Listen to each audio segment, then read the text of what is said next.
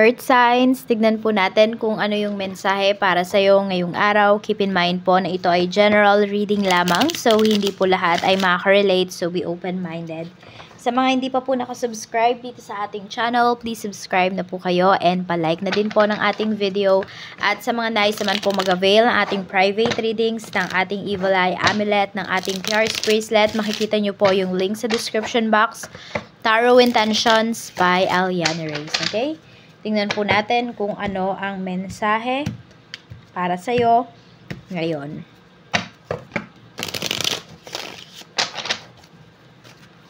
Meron tayo ditong The Hanged Man, meron tayo ditong Four of Swords, meron tayo ditong The Star. Okay. Meron dito, parang gusto nyo nang bumitaw sa mga plans po ninyo, sa mga pangarap ninyo. Kasi parang feeling ninyo walang nangyayari. Meron naman dito sobrang relax. Ayan. Oh, medyo nagtatalo yung energy. Merong relax. Meron naman dito gusto nang sumuko. Ayan po. Pero parehas yan regarding sa mga dreams po ninyo. Tignan natin. Okay? Ano pa yung mensahe? Actually, parang yung iba sa inyo, Taurus, Virgo, Capricorn, kapag nagre-relax kayo, mas dumarating yung mga opportunities para sa inyo. Kesa yung aligaga kayo. Tignan natin. Pero depende yan. Depende rin yan sa tao. Depende rin yan sa mga, uh, sa natal chart po ninyo. Tignan natin.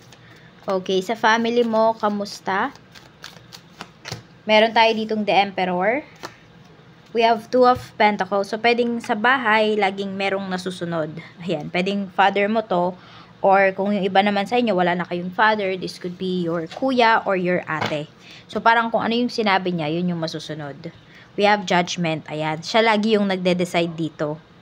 O, medyo napipikon yung iba sa inyo minsan kasi uh, pag nagde-decide siya, parang wala man lang consideration. Parang wala, nag-decide lang siya dahil yun yung gusto niya. Yan po. Tignan natin. Okay, pero nirerespeto mo pa rin siya. Siguro hindi ka nagpapakita ng tantrums mo dito sa taong to. Mm -mm. Pag kinakausap mo naman siya, maayos naman. Tingnan natin kung ano pa yung mensahe. We have Six of Cups pagdating naman to sa mga friends mo. So, pwedeng namimiss mo na yung iyong mga kaibigan. Ayan, mukhang matagal-tagal na rin kayong hindi nagkita. Um, pwedeng may communication, pero yung pagkikita talaga, yun yung parang hindi pa nangyayari ulit. Yan po. So, parang ang dami nang nangyari, ang dami nang nabago, pero, yun, uh, friends mo pa rin naman sila. Friends pa rin naman yung turing mo sa kanila. Ayan, meron nga dito ang kaibigan mo na pwedeng may pinagdadaanan siyang mabigat na problema sa ngayon. Meron tayo ditong the High Priestess. Okay? Meron tayo ditong King of Cups. Merong isang tao dito na tinitiis ka pero um, parang nagpaparam, nagpapakita siya sa panaginip mo. Yan yung, yan yung energy. Okay, meron ka ba ditong gustong makarma or signs? Or merong tao dito na naghihiling ng hindi mo ikakabuti. Ayan, pagdating to sa relationship, ito yung lumalabas. We have Knight of Swords. Meron galit sa'yo dito. Or pwedeng ikaw yung nagagalit dito sa taong to. Ayan. Some of you are dealing with uh, Scorpio, Libra, and Gemini. Yan po. So, yun, parang it's either may nagagalit sa'yo or ikaw yung nagagalit sa taong to. Meron dito kasi nagpaasa. Yan. Or baka meron ba kayong paulit-ulit pinapaasa dito earth signs na isang tao. So, parang meron dito, pwedeng kayo yung nangangako or lagi kayong pinapangakuan ng person mo pero hindi naman siya natutuloy. So, yun, parang napapagod yung energy. Siguro dito yun, no? parang dito kayo napapagod. Ayun, so siguro, yun nga din yung lumalabas dito na napapagod na energy na parang gusto nang sumuko sa mga goals, sa mga plans. Kasi, yun, di mo alam kung tutuloy pa ba ng person mo or ikaw ba itutuloy mo pa ba yung relationship ninyo kasi hindi mo siya nakikitaan ng growth. Sa kaperahan naman po, we have, ayan, pasensya na kayo paling yung mga cards natin. Okay, we have naman po the Hierophant. We have the Devil. Meron tayo ditong Three of Wands. Okay, ang dami mong gustong gawin. Kaya lang limited yung resources ng iba po sa inyo. Tapos, hindi ko din alam, pwedeng yung religion nyo din is nakaka, hindi naman sabi, sabihin natin, ano ba na, ang pangit naman kasi pakinggan kung nakakasagabal, ba diba? Sa mga gusto ninyong gawin. Ayan, so baka may mga pasaway dito. Kung hindi kayo yung mga energies na napipick up natin dito, pwedeng mga malalapit po yan sa buhay mo, pwedeng family members mo. Okay? Na pare, pwedeng parehas kayo ng sign. Kaya ito na, ito yung napipick up natin. So, ayun, pagdating sa kaperahan mo, ay iba din sa inyo, magastos kayo, may ganyang energy. Yan, tapos yun nga, meron kayong mga gustong itry na parang bawal po yan sa religion ninyo. Kaya ayun, siguro doon naman kayo uh, napipigilan talaga as in hindi nyo talaga sinusuway yung mga utos po sa inyo. Tignan natin, okay. So we have seven of cups. Ayun no, ang dami-dami yung gustong gawin uh, nahihirapan yung iba sa inyo. Okay. Sa parang ganito, kunare meron kayong uh, meron kayong gustong bilhin, tapos di kayo kunare makapag-decide. O di bibili na lang lahat ng kulay. Tipong ganun. Oo, if you have the money naman, yung iba sa inyo parang ganun yung ginagawa ninyo.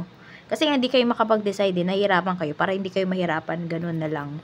Okay? So, ayun, may mga, meron dito, may pagka-impulsive, pagdating sa mga binibili sa negosyo, ano, not negosyo, sa trabaho po, we have Ace of Cups, so medyo tambak yung inyong trabaho dito. Seven of Swords, tahimik lang naman kayo, hindi naman kayo nagre-reklamo. Hindi kayo yung tipo na reklamador, um, earth signs, pagdating sa trabaho. Nakikiramdam kayo, alam nyo yung mga nangyayari, and yun nga, sobrang busy po ninyo, yun yung pinapakita. Tapos, ang daming, ang daming tao dito sa paligid mo, mga katrabaho mo, feeling nila, kakumpetensya ka nila. Tahimik ka lang daw, pero ang dami mong alam. ba Pero magaling ka. Yan. Ano ba yung minamanifest nyo dito pagdating sa trabaho? Pwedeng nagmamanifest yung iba sa inyo na ma-promote or yung iba sa inyo pwedeng naghahanap pa lang po kayo ng trabaho at ayan, uh, konting hintay pa raw po. Yun yung sinasabi dito. Yung iba sa inyo medyo ano, pag ano, try nyong lumayo kasi kapag dyan, dyan at dyan lang din kayo naghahanap ng work, okay, mahihirapan po talaga kayo kasi pwedeng alam mo, medyo malungkot yung energy ha um, earth sign, some of you, pwedeng yung mga dreams po ninyo, yung mga goals ninyo, ah, hindi man siya sa malungkot, pero siguro kung binibigyan nyo ng timeline yung sarili ninyo, malulungkot talaga kayo. Kasi ang nakikita kong energy dito is, ano pa, um, November, December, ganun. Ganun nyo pa marireach yung mga goals ninyo. Pero kung ang target ninyo is bago naman matapos or sa loob ng 2024 is, um, you know, yung mga goals ninyo sa career ninyo, makuha ninyo, ayan, makukuha nyo naman po siya. So, happy pa rin po kayo. Pero yung kung meron nga dito, kailangan next month, makuha nyo na, ayun, medyo, uh, medyo may delay po na ibibigay sa inyo si universe. Okay? Kasi pwedeng hindi pa yun yung perfect time or hindi pa yun yung right time para dun sa isang pinaplano po ninyo. Sa negosyo naman, we have six of wands. Ayan. Eight of swords. Tapos, we have three of swords. Okay. Mukhang akala, may akala kayo dito eh, na tagumpay na. Pero, ayun, hindi nyo nakita yung mga, um, yung mga cons doon sa decision na ginawa po ninyo pagdating dito sa inyong business. So, tignan nyo po yung mga cons. Diba? Hindi lang yung pros, pros, pros and cons. Diba? Hindi lang yun. Uh, I mean, hindi lang puro pros. Kailangan tignan nyo din yung cons sa inyong relationship. Ay, sa relationship. Sa inyong negosyo. Ano ba yung sinasabi ko? Ayan, siguro pwede rin kasi relationship to eh. Relationship mo with your, um, ano ba, with your client, relationship mo with your supplier, relationship mo with your employee. So, tignan mo din yon um, earth signs. Kasi pwedeng dun po kayo magkaroon ng problema dito. Oo. Merong magta-traitor sa'yo dito. Kaya mag-ingat kayo sa pinagkakatiwalaan ninyo in terms of your business. We have wait. Ayan, it's not yet time. So, di ba sabi ko sa inyo dito, meron kayong paghihintay na gagawin.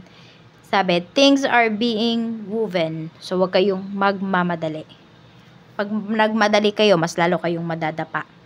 Ito po yung inyong lucky numbers. We have number 4, we have number 42, number 16, number 25, 19, and we have number 22. Ayan po. Maraming maraming salamat. Mag-iingat po kayo always and more blessings to come.